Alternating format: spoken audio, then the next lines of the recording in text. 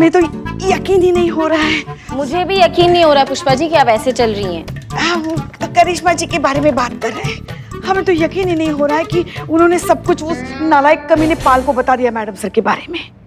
बताइए बताइए पुष्पा जी अभी तक नस चढ़ा हुआ है आपका। हमारे चाचा जी बैठ थे हमको सब विद्या सिखाए रुकिए हम ठीक करते हैं। आइए इधर आइए। दीजिए आराम से आराम से। चिति पक्का ना? हम पर भरोसा कीजिए हो जाएगा ठीक हो जाएगा बिल्कुल। लूज छोड़िए थोड़ा सा। हाँ रखिए बहुत बढ़िया। हाँ बस बस बस बस। वैसे पुष्पा जी गल हाँ? ये थाना में गाय दीवार पर कैसे चढ़ गई? कहाँ? हो गया हो गया हो गया ठीक हो गया। ढीला कीजिए ढीला कीजिए पैर पैर पैर। मोड़िए मोड़िए। खड़ी होइए पुष्पा जी आराम से आराम से आराम से। खड़ी हो जाइए खड़ी हो जाइए। उठिए उठिए उठिए। आराम तो से। पाएँगे ना? घूमिए घूमिए 360 मारिए मारिए घूमिए घूमिए घूमिए। अरे वाह शाबाश। ठीक हो गया पैर आपका पुष्पा जी। चलिए देखिए अरे कूद कूद के देखिए। हम चल पा रहे मारिए मारिए गुलाटी मारिए मारिए। बंदर है हम बंदर है हम। सॉरी सॉरी नहीं नहीं मगर ये करिश्मा जी ने बिल्कुल अच्छा नहीं किया। चिते उनको ना उनको जलन हो रही है मैडम सर से। हाँ क्योंकि डॉली ने जब से उसकी केस के लिए मैडम सर को चुना है ना तब से।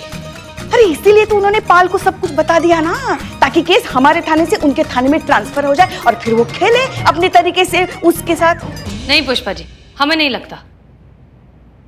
हमारा दिल नहीं मानता करिश्मा सिंह ऐसी नहीं है। मैडम सर किसका दिल किसका दिल मानने के लिए तैयार है? यहाँ कोई भी नहीं मान सकता कि करिश्मा जी कभी ऐसा कर सकती है। मगर जो सच्चाई है वो टाल भी तो नहीं सकते ना। सच्चाई तो यही है कि करिश्मा जी उसी थाने की इंचार्ज है जिस थाने में आपके कागज़ वेरिफिकेशन के लिए गए थे। तो अब बिना थाना इंचार्ज की अनुमति के पाल को कैसे पता चल सकता है कि आपके कागजात फर्जी थे? बिल्कुल सही बोल रही हैं आप पुष्पा जी। ना मतलब थाना में कोई भी गतिविधि हो उसका जिम्मेदार तो वहाँ का प्रभारी ही होता है ना? हाँ तो? जीते बताते हम तुमको। जब से दूसरे थाने में ट्रांसफ़र हुई है ना हमारी लाडली बहुरानी तब से तब से हमारी आँख फड़क रही थी। पता था हमें? कोई ना कोई नया बखेड़ा ज़रूर खड़ा कर देगी। अब देखो, कर दिया। उनकी जल्दबाजी और ना तजुर्बेकारी। एक दिन पक्का हमें मरवाएगी। देखो।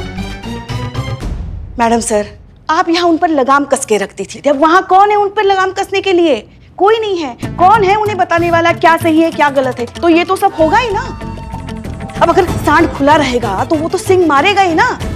बिना आँख वाले के हाथ अगर बटेर लग जाए तो क्या हो? तो वो तो बोरा ही जाएगा। जैसे कि बोराई बोराई घूम रही है तुम्हारी लाडली करिश्मा जी। हम्म, बस एक बार एक बार वो हमारे सामने आ जाए। फिर देखना। फिर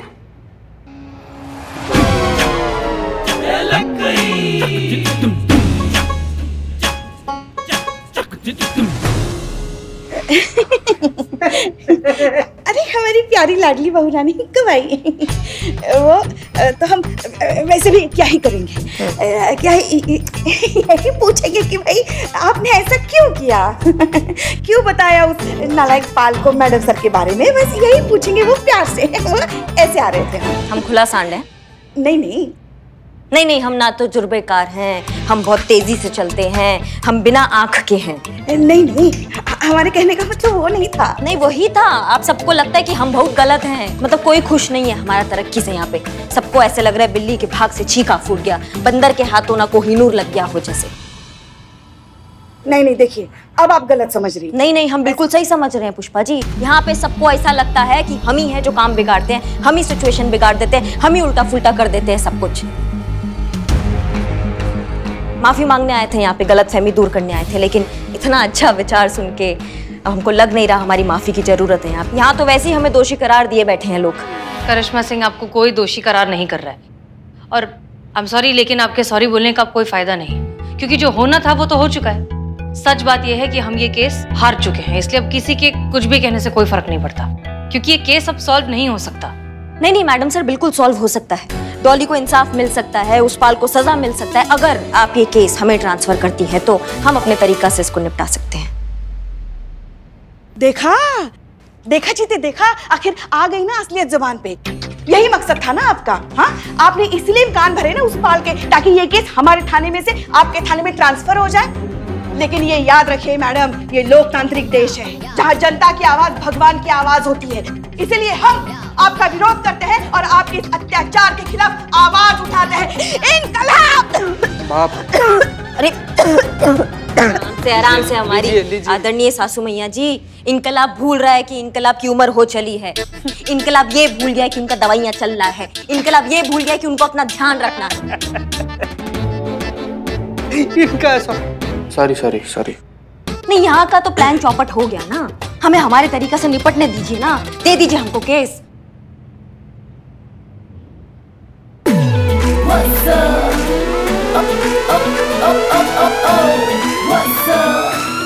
एक्सक्यूज मी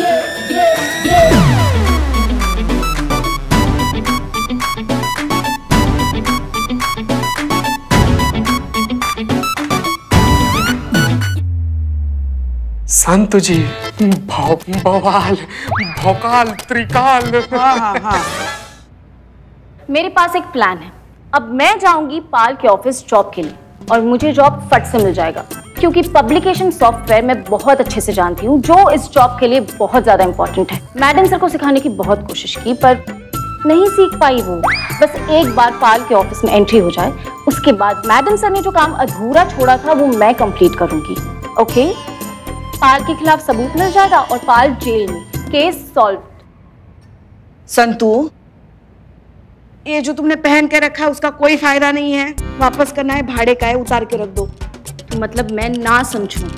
हाँ ओके। मैडम सर फिर क्या सोचा है आपने? आप केस हमें दे रही हैं। करिश्मा सिंह प्रॉब्लम आप में नहीं आपके तरीकों में है। जो हमें नहीं लगता कि इस जन्म में कभी भी बदल पाएँगे। ये इस तरह की लड़ाई झगड़ा वायलेंस इन सारी चीज़ों से है ना हम पहले इतफाक रखते थे और ना आज रखते हैं। जानते हैं मैडम सर पर दोनों का मकसद तो एक ही है ना डॉली को इंसाफ दिलाना। वो चाहे आपके जज्बात से मिले या हमारे लात से कभी कभी ना, मैडम सर, लात जज्बात से ज़्यादा असरदार होती है। हमें अपने तरीका से निपटने दीजिए, ऐसा जादू का छड़ी चलाएँगे ना हम कि उस झूठ का टोपी में से ना सच का कबूतर भर आएगा।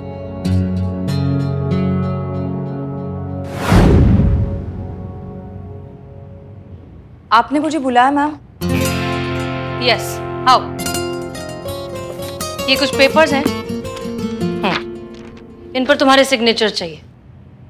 ये क्या है? इस पर लिखा है कि ऑफिशियली अब तुम्हारा केस करिश्मा सिंह हैंडल करेंगे। क्यों? अब, मतलब मैं चाहती हूँ कि मेरा केस आप देखे।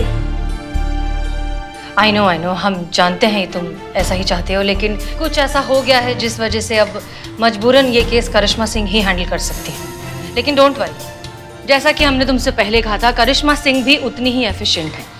हम दोनों में से कोई भी हो, इंसाफ तुम्हें ज़रूर मिलेगा। क्या सोच रही हो तुम? फटाफट साइन कर दो। इंसाफ तुमको दिलाएँगे और डंके की चोट पे दिलाएँगे, हमारा वादा है। और ये सारा शहर जानता है करिश्मा सिंह अपने वादा का कितना पक्की है, ये। ये लो।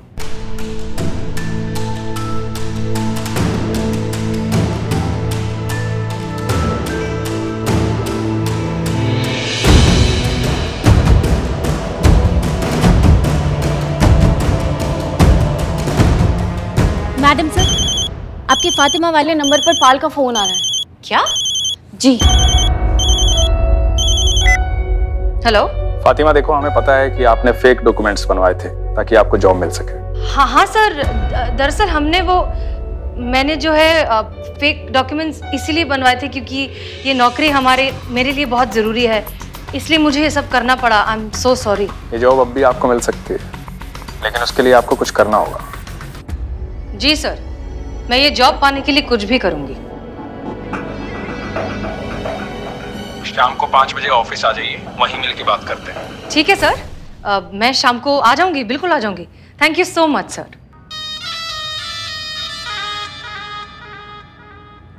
great news हमारे पास अब भी एक और मौका है। पाल ने आज शाम को हमें उसके ऑफ़िस में बुलाया है हमारी जॉब वापस देने के लिए। शाम को पाँच बजे पूरा ऑफ़िस स्टाफ चला जाता है।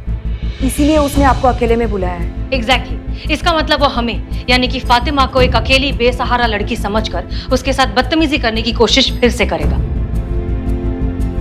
और इतना अच्छा मौका उसके खिलाफ सबूत इकट्ठा करने का हम अपने हाथों से जाने नहीं दे सकते करिश्मा सिंह डॉली, अब तुम्हें एफआईआर ट्रांसफ़र करने की कोई ज़रूरत नहीं। अब ये केस हम ही सब। अब करिश्मा सिंह, हमें लगता है कि ये केस अब हमें ही सॉल्व करना चाहिए। I'm so sorry. I hope you understand. All the best, madam sir.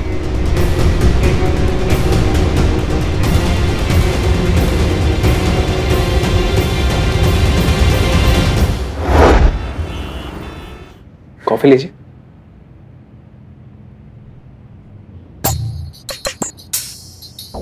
जी सर देखिए गलती तो आपने की लेकिन हमारी माँ ने हमें सिखाया कि कोई एक बार गलती करे तो उसे दूसरा चांस मिलना चाहिए चांस तो हम आपको देंगे। कैसा निर्लज बेशरम बेहया बेगैरत टाइप का आदमी है, है? खुद एक मौका के ताड़ में बैठा हुआ है और बीच में अपनी माँ को लाकर उनको बदनाम कर रहा है। माता जी बेशरम। लेकिन हमारी एक शर्त है। शर्त? कैसी शर्त सर? हमारी माँ कहती थी कि बिज़नेस में हिसाब जो है क्लियर होना चाहिए गिव एंड टेक कुछ हम आपके लिए करें कुछ आप हमारे लिए करें। हम आपको नौकरी देंगे। बदले में आपको हमें कुछ देना होगा। आप कहना क्या चाहते हैं सर? एक्स्ट्रा आवर्स ऑफ़िस के बाद. वही एक दूजे के लिए अकेले हम अकेले तुम. जवानी दीवानी. समझ गए ना? समझ रही हूँ सर. बहुत अच्छे से.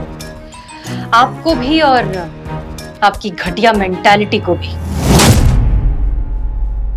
हिम्मत कैसे हुई तुम्हारी मुझसे इस तरह से बात करने की? हाँ समझते क्या हो? मुझे क्या समझ रखा है तुमने? संतु ये सब रिकॉर्ड हो रहा है ना? हो रहा है हो रहा दूध की धुली हुई तो नहीं है आप। तभी तो आपके पति ने आपको तलाक दिया। अच्छा हुआ जो डिवोर्स दिया। क्योंकि आप जैसी खूबसूरत चीज़ को तो महल जैसा होना चाहिए। कोई भी देख सके चाह सके छू सके। ये पति नाम की चीज़ नहीं होनी चाहिए जो ऊपर सांप बनकर कुंडली मारकर बैठा रहे। क्या बकवास कर रहे हो तुम? मैं अभी जाऊँगी और पूरी दुनिया के सामने तुम्हारी असलियत दिखाऊँगी। बताऊँगी कि कितने घटिया इंसान हो तुम। जाइए।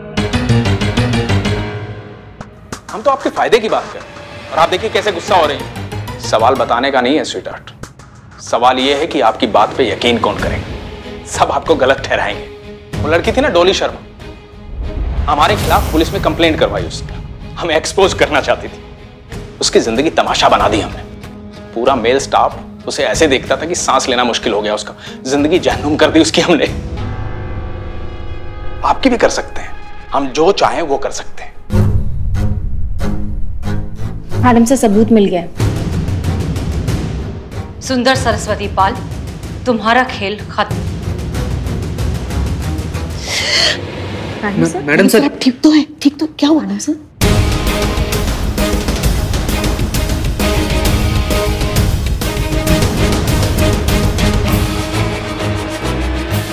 कॉफ़ी। तुमने कॉफ़ी में कुछ मिलाया? मैडम सर हमारे हमारे चलो चलो चलो चलो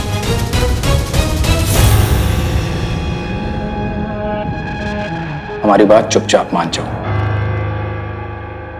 डोली को तो हमने सिर्फ़ ऑफ़िस में बदनाम किया था। आपके पूरे शहर में पोस्टर लगवा देंगे। छोड़ो। छोड़ो मुझे, हट जाओ। छोड़ो छोड़ो मुझे, छोड़ो। मैडम साहब करिश्मा सिंह हिम्मत कैसे हुआ? कैसे तुमने छुआ मैडम सर को। एक बार मैडम सर को ना किसी ने सीटी मार दिया था। वो आज तक लोकल बस में हारमोनियम गले में डालकर इशारों में भीख मांग रहे हैं, का समझे? तो तुमने तो छू दिया। बेटा तुम तो गए तुम्हारी तो गए करिश्मा सिंह गए अब तुम तो। रुक जाइए करिश्मा सिंह। मैडम सर को कुछ भी होता है ना हम बहुत पर्सनली ले लेते समझे? तुमने तो छू दिया। करिश्मा सिंह रुक जाइए रुक जाइए। आज तो तुम गए हाथ आज तो करिश्मा रुक जाइए। उसके खिलाफ सबूत मिल गया है। कानून को अपने हाथ में मत लीजिए। केस सॉल्व हो गया है। नहीं मैडम साहब हमारा केस अभी सॉल्व नहीं हुआ है। हमारा केस अभी सॉल्व नहीं हुआ है। भाई तो हिम्मत कैसे हिम्मत कैसे हुई तुम्हारी? रुको करिश्मा सिंह। उठ। उठ चल। चल। करिश्मा सिंह।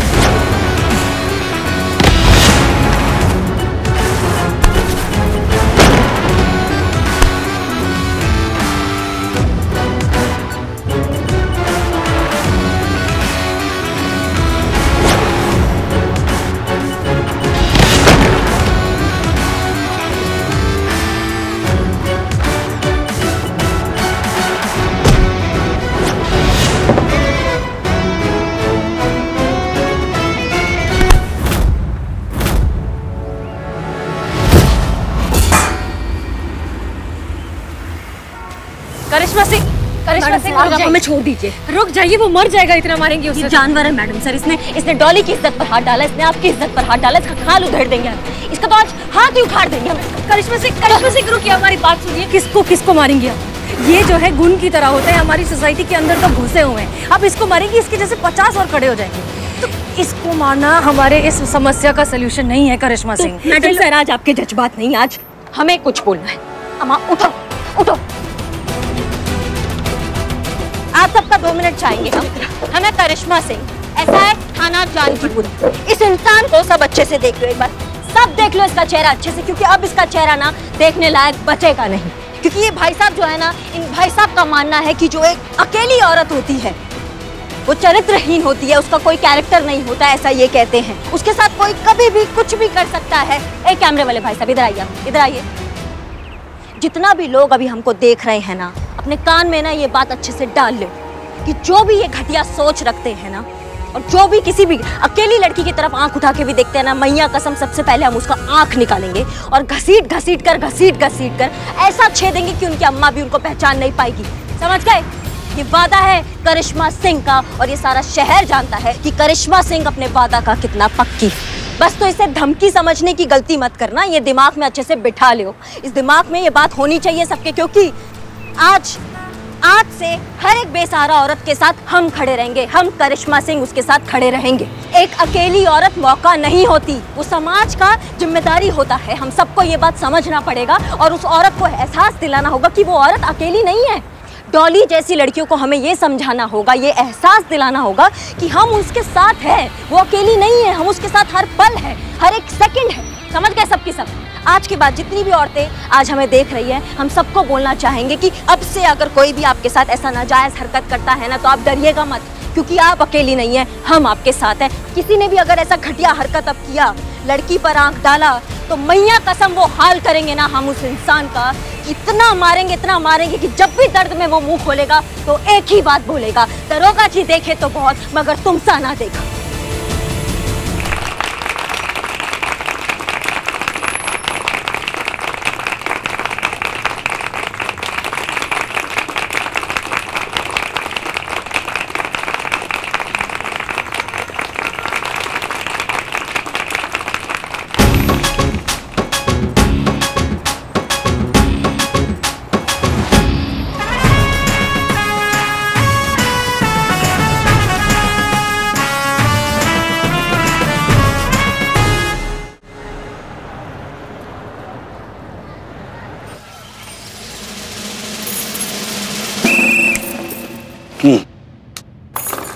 मैडम जय हिंद।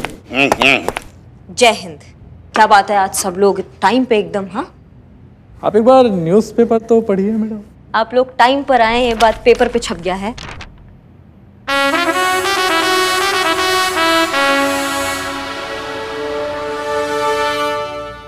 Congratulation madam. एकदम कमाल के हैं आप। मतलब कमाल कर दिया आपने। धन्यवाद आप सबका बहुत बहुत धन्यवाद। ठीक है आप सब अपना काम कीजिए।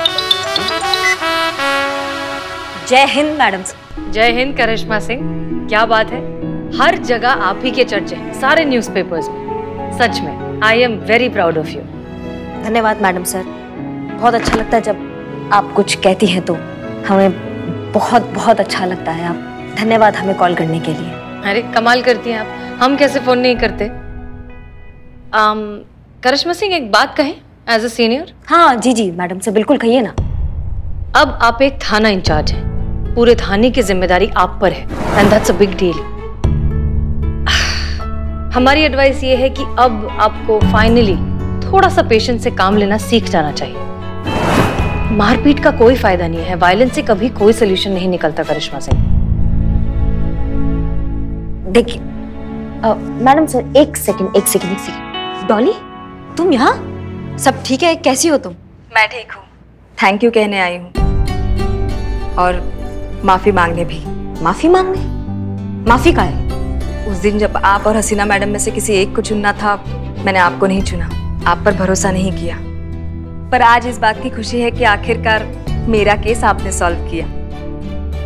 अगर ये केस हसीना मैडम सॉल्व करती तो सिर्फ़ मुझे इंसाफ मिलता। पर आपने उस पाल का जो हाल किया है, उसके बाद कोई भी, किसी भी अकेली बेसहारा लड़की को गंदी नीयत से छूने से पहले हज़ार बार सोचेगा। आपने सिर्फ़ मुझे जस्टिस नहीं दिलाया है, बल्कि इस शहर की उन हज़ार अकेली लड़कियों को, जो किसी ना किसी पाल का शिकार थी। आप उनके साथ हैं, करिश्मा सिंह उनके साथ है। उन सभी महिलाओं की ओर से आपके लिए एक सैल्यूट तो बनता है।